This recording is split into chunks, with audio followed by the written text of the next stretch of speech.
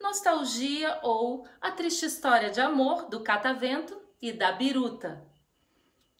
O menino que catava o vento deu um suspiro apaixonado e disse para a menina que soltava bolhas de sabão: O coração tem tanta força a cada vez que bate de amor que é melhor não contrariar. E a menina, parando de soprar, disse: Que história de amor você vai contar dessa vez?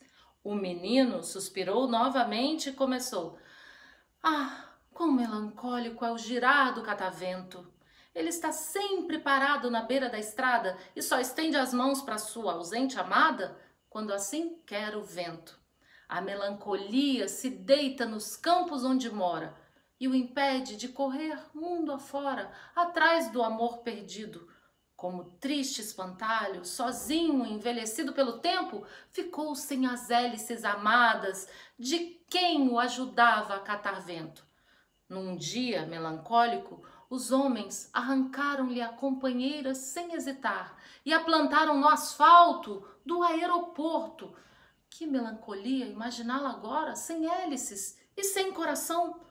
Deram-lhe outra ingrata função Agora a chamam de medidora das correntes de ar e ela ajuda os homens a chegar até o céu com suas máquinas voadoras.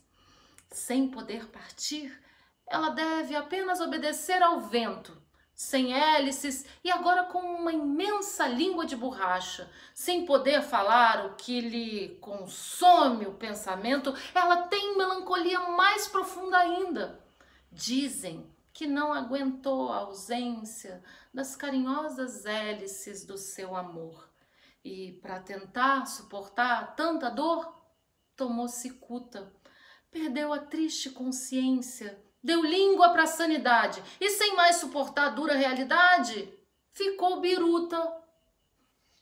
A menina, assustada, mal conseguindo soltar bolhas de sabão, não disse nada. O menino depois de mais um suspiro apaixonado, concluiu: São as coisas do coração. Ainda bem que você não tem língua de borracha.